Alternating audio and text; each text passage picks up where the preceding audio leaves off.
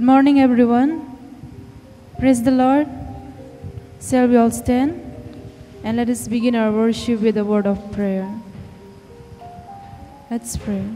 Dear God, Heavenly Father, we thank you and praise you, Lord, for this beautiful, bright morning that you have given us, O Lord. Thank you for being with us in this week. Whatever we do, this is everything is because of your grace and mercy. We are blessing, O Lord. Lord, this moment I commit into your mighty hand, Lord. Now we are going to praise you. Please be with us and help us. We invite your Holy Spirit, please be with us so that we can be able to praise you throughout our heart. And Lord, I commit into your mighty hand for this time. We pray in the name of our Lord and Savior Jesus Christ. Amen. Let us sing one song, blessing and honor, to glorify his name.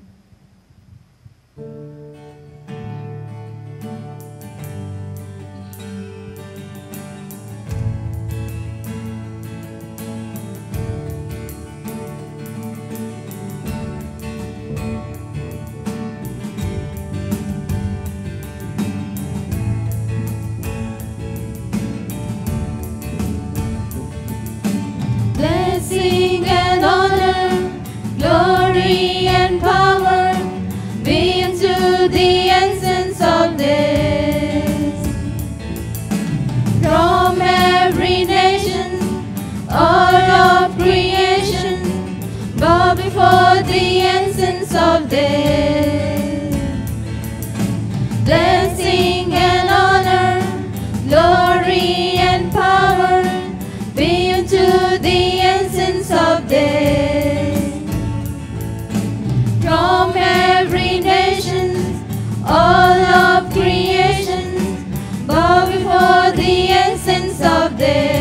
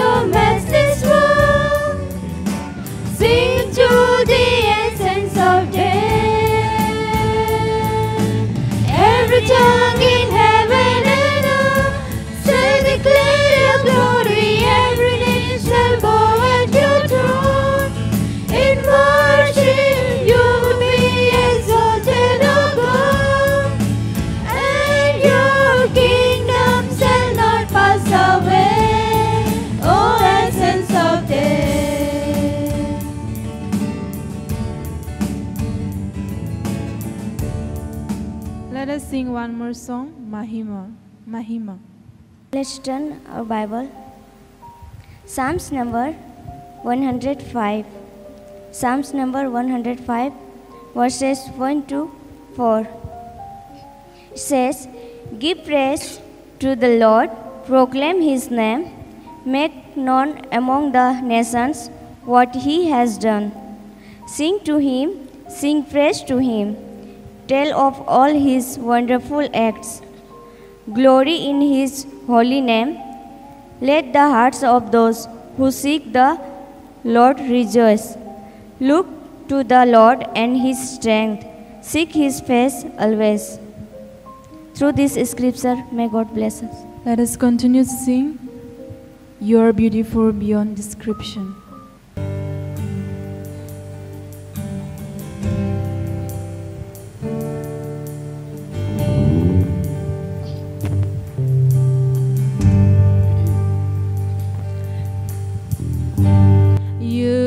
beautiful beyond description. Tomorrow.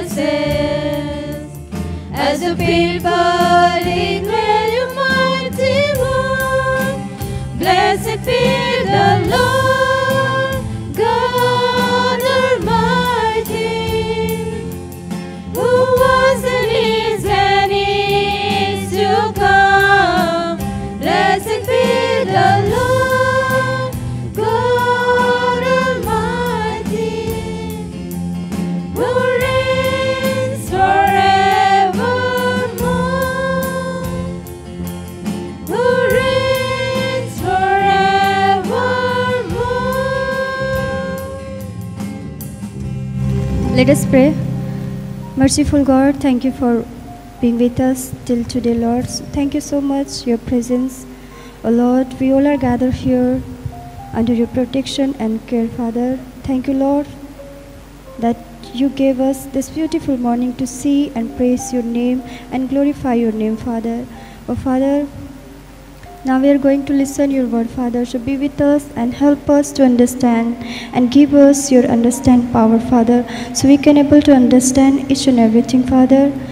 This time I commit and submit into your mighty hand to the preacher, Father. Oh Father, whatever she prepared, be with her and help her to speak, Father. Oh Father, and Father, give us your understanding power, Father. I believe that you're hearing and answering our prayer. We pray in Jesus' name. Amen. Praise the Lord. I give praise to our Almighty God for this time, for this precious time that He has given us. We have come together again to hear the Word of God, and I give praise again, once again, to God for this time that He has given you and He has given me. Today I have brought you from the book of 1 Samuel, 1 Samuel chapter 16, verse 1 through 3. The heading says, Samuel anoints David. Samuel anoints, an- anoints David. So, when we read through the book of Samuel, or when we look into the background, we see very important figures like Samuel, Saul, and David. The whole story revolves around these three people. Um, at the beginning of First Samuel, we see the story of how Samuel was born and how he was sent to the temple to be with the priest Eli and how he grew up and became the priest and leading the Israelites. And also we see about uh, the rise of monarchy, the rise of King Saul and his disobedient story, and also the rejection of Saul by God and the, the anointing of King David. So when we read uh, the last chapters of Second Samuel, we will read about how King David passed down his legacy, his throne to his son Solomon. So when we read First and Second Samuel, First and Second Samuel, we read about the three important personages: Samuel, Saul, and King David. Coming to the chosen passage, the chosen passage, Samuel, First Samuel chapter sixteen, verse one, two, and three. First Samuel chapter sixteen, verse one, two, and three. Here we see the story of how God sent Samuel to go and anoint David and uh, how God sent Samuel to go and anoint David, one of the sons of Jesse. And he anointed David, and that is how David becomes the king. But uh, I will not be dealing with the whole story, but I will just be dealing with the three first three verses. That is verse one, two, and three. Um, we read through the whole book, whole chapter, we will find out so many lessons. We will be able to fish out so many lessons, but particularly on the three verses that I have brought today to concentrate to study. Okay, so the lesson that I will be giving you, the lesson that I have brought out from these three verses is rejection and anointment. Rejection and anointment. Rejection and anointment. Let me read the scripture passages. First Samuel chapter 16, verse 1, 2, and 3. The Lord said to Samuel, How long will you mourn for Saul, since I have rejected him as king of Israel? Fill your horn with oil and be on your way. I am sending you to Jesse the Bethlehemite. I have chosen one of his sons to be king. But Samuel said, How can I go? If Saul hears about it, he will kill me. The Lord said, Take a heifer with you and say, I have come to sacrifice to the Lord. Invite Jesse to the sacrifice, and I will show you what to do. You are to anoint for me the one I indicate. So this is the scripture passage here in verse 1. Looking into verse 1, we see that Samuel is mourning over Saul. Why is Samuel mourning over Saul? Why is Samuel worried about Saul? Why is Samuel weeping over Saul? And as we read the previous chapter, chapter 15, as we read, we come to an understanding that Samuel is weeping over Saul because God has rejected Saul. God has rejected Saul. And why did God reject Saul? Because, simply because Saul did not obey God. Saul did not obey God. Uh, we will see the whole story and also the verses that says that God has rejected, God has rejected. In verse, chapter 15, verse 26, we see that God has rejected Saul as a king of Israel, as king of Israel. And also chapter chapter 15, verse 35, we see that the Lord recreated for making Saul the king. The Lord recreated for making Saul the king. Because God has given certain instructions uh, to go on a war with the Amalekites and do certain things, but Saul disobeyed. Saul disobeyed. And that was the reason that the king has rejected, that the God has rejected King Saul. Samuel is mourning because he is worried for the people of Israel. He is worried for the people of Israel. He is thinking, what will happen what, if Saul is rejected? If Saul is no more the king, what will happen to the people of Israel? And the word here used mourning is, uh, the Hebrew word for mourning is aphel, aphel. The same word is used when the people of Israel mourn after the death of Moses. That is not simply crying, but weeping with deep regret and deep sense of pain and also it is used when King David's son died. King David's son with Bathsheba died, he was mourning. So this mourning is a, a feeling or an expression of great pain. So Samuel was feeling the same thing. He was mourning over Saul. He was mourning for the people of Israel, thinking what would happen to them. And the next verse we see is when the next verse we see is the first we see that God has told Samuel, Why have you, why are you still mourning for Saul? I've rejected him. And we see why the Lord has rejected him. We see why the Lord has rejected him. And again, in the following, the continuation of verse 1, it says, God, uh, the Lord instructs Samuel, the Lord says, Fill your home with oil and go to Jesse the Bethlehem in Bethlehem. I have chosen one of his sons to be the king. So the Lord will not simply reject and the Lord will not simply leave it there. The Lord is still God of Israel. He is the God of Israel and He is still thinking for Israel. Even when Saul is disobedient and he rejected Saul, He is still thinking for the Israelites. He is already planned, He has already planned who is going to be the next king to rule over the Israelites. And Samuel did not know that. Samuel is worried about who will be the next king, but God has already in mind the son of Jesse, one of the sons of Jesse, will be the king. So he tells to Samuel, take, take, take a horn, fill the horn with oil, and go and go to Bethlehem. So um, here we see the instruction. What is this oil? Why oil? Because oil in olden days they use oil for anointing. Oil is the significance of the Holy Spirit, of Holy Spirit in water, of Holy Spirit in water. So when this is a sign that the person has been anointed. The person has been chosen. The person has been picked. The person has been picked by God and the Holy Spirit is with him. So God instructs someone to take the oil and leave for Jerusalem. And when God gave those instructions to Samuel, we see the reply of Samuel in verse 2. We see the reply of Samuel in verse 2. He said, How can I go? If so, Saul hears about it, he will kill me. So now, first he was worried about Saul. Now he is worried about what if Saul finds out about it and kills him. So Saul is a very bad person. He knows about it and he already knows that if Saul hears it, Saul will kill him. He is worried about his life. He is worried about if Saul finds out that God has anointed another person to be the king, he is going to be killed. And if Saul finds out that he is the one who anointed, he is going to be he is going to be killed. So he was worried. But we see we see the reply of God. God replied, and God did not say, Don't worry, God did not say, It's okay, God did not say that. God simply ignored what Samuel said. God simply ignored the question of Samuel. Sometimes we find ourselves there.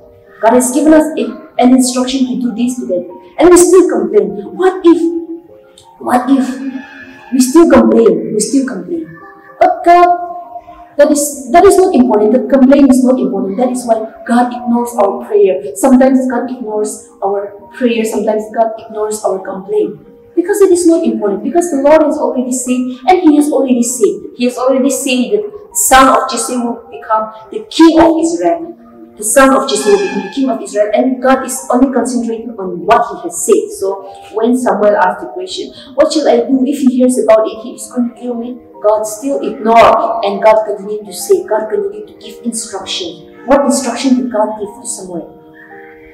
The Lord said, Take a heifer with you and say, I have come to sacrifice to the Lord. Take a heifer with you and say, I have come to sacrifice to the Lord. So, what is a heifer? A heifer is a cow. Is a cow or is a cattle that, that is young. That is a female female cattle, female cow that has not given any calf, that has not given any baby calf. So uh, it signifies sacrifice. It signifies it signifies young. It signifies um, the young and the innocent and the clean animal before it has given any baby, before it has uh, before it has grown old. It, it simply signifies the fragility, fragile. Okay, so um, God instructs Samuel to take the heifer and go and make a sacrifice. So when we talk about sacrifice, we see that the best one is made for sacrifice, the clean one is made for sacrifice, and we can bring an example of Jesus Christ. Jesus Christ was clean. Jesus Christ was worthy. Jesus Christ was not worthy to die, but he was he was sacrificed. He was his life was laid down for us. His life was a sacrifice. His life was a sacrifice for our sins. So we see Jesus Christ, Jesus Christ is here. Jesus Christ is here in the anointment of King David. And it is also a blessing, it is also a blessing by God saying that Jesus Christ will be born from the line of King David. Jesus Christ will be born from the genealogy of King David. And yes, Jesus Christ was born from the, from the genealogy of King David. And this Jesse, whom God is instructing someone, this Jesse is the grandson of Ruth. He's the grandson of Ruth. We remember Ruth, Ruth, the daughter-in-law of Naomi, and also the wife of Boaz. So we know that Ruth is also in the genealogy of Jesus Christ. So uh, David, uh, who is going to be the king, is also in the genealogy of Jesus Christ. And he is the great grandson of Ruth. He is the great grandson of Ruth. So here God instructs, God instructs Samuel to take the heifer and make sacrifice and go and go to and go to the and go to the Bethlehem and make a sacrifice. And the Lord continued to say, Invite Jesse to the sacrifice, and I will show you what to do. You are to anoint for me the one I indicate. So Lord simply ignored what Samuel was was was saying, and he said, Take a heifer and go, and I will show you what to do. He said, I will show you. Don't have to worry about anything. You don't have to worry about it. Simply means you don't have to worry about who will kill you, who will do what. You don't even have to choose. There are so many sons of David, uh, of Jesse, but you don't even have to crack your head and choose. I will show you what you should do. And also I will anoint you. And also you will anoint the one whom I indicate, the one whom I will instruct, the, the one whom I will say. So this way, Samuel takes the heifer, someone takes the oil and goes to Jesse. And when we read the whole story, we, there's another whole story how he, he chooses one of the sons and anoints him. He chooses David and anoints him. There were so many sons that came one by one, but no one was worthy in the eyes of God. God said that this is simply an outer appearance. God is looking at the heart, and He chose the heart of King David. He chose the heart of David, and David was anointed as the king. So this is a totally different story. So what I brought today is simply uh, is only the first one to entry. The rejection, the rejection, the instruction, rejection, instruction, and the anointing, anointment.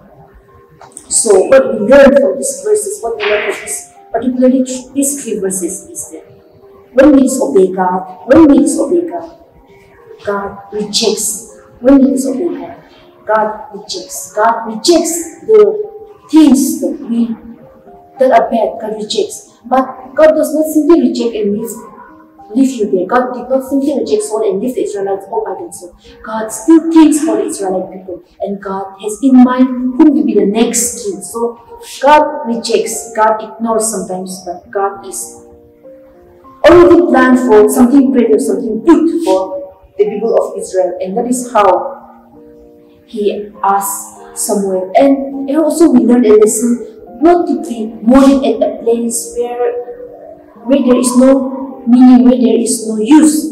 So Samuel has simply being mourning over Saul, which is not important. So move out from a place, move out from that mourning and go to a place because God has something greater for you. God has something greater for you. God has greater anointment for you. The instruction is there. God has rejected the path, but the instruction from God is there. You wake up from the place, from the place where you are mourning. You wake up from the place where there is uphell, where there is mourning. And you go to a place where I will show you and I will instruct you and I will anoint you. Where God said, I will anoint you. And that is how God anoints the king. God anoints the new king. God anoints King David, the second king of Israel.